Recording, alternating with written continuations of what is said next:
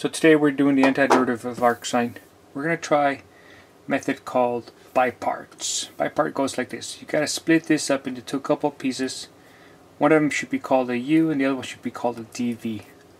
Sometimes it's a lot more interesting because you may have more than two pieces, but let's try our luck here and see how it goes. We force U to be equal to arc sine of x. That leaves us with no choice. dV has to be dx. This uh, forces v to be equal to x. And here I've got to take the derivative of this piece. So I could say, well, this is the same thing as saying that sine of u is equal to x.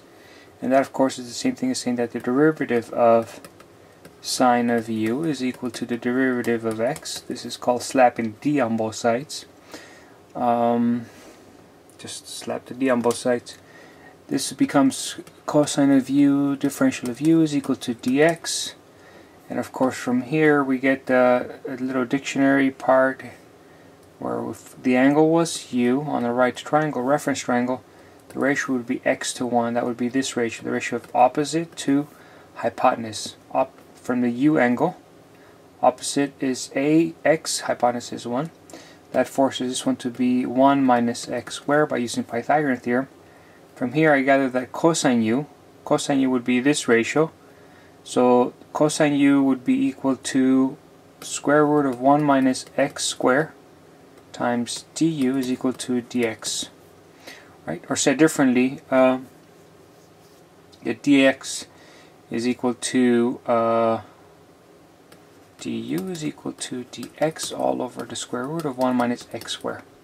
Alright, that tells me what the du is and that tells me what the dv is. Together, these two things go like this. Uh, we say that the integral of u dv is equal to uv minus integral of v du. That's the by-part formula. Um, we proved that on a different video. This means that this integral, uh, substituting back everything in here, the integral of arc sine of x uh, dx is equal to u times v. My u is here and my v is here. u times v, that's u times v, x arc sine of x minus integral of v, that's my v here, times du. du is over here, so it'll be dx all over square root of 1 minus x squared. So the arc sine of x dx is equal to this guy right here. Uh, this is already done. This one's not that bad. Here we'll do a little u sub maybe uh, we could go with a little well, we'll go with a little red. Uh, we'll make u equal 1 minus x squared. That forces du to be negative 2x dx. So then this becomes just this piece alone becomes uh, the integral of x dx. That's this part x dx. It'll be solving here it'd be negative 1 half du and then on the bottom I'd have square root of 1 minus x squared, so it would be the square root of u. So that would be negative 1 half integral of u to the negative 1 half du, which would be negative 1 half.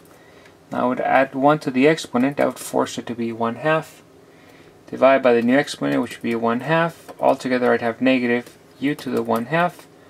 Or said differently, I would have uh, negative u, which is this one, to the 1 half, which would be the square root of 1 minus x squared.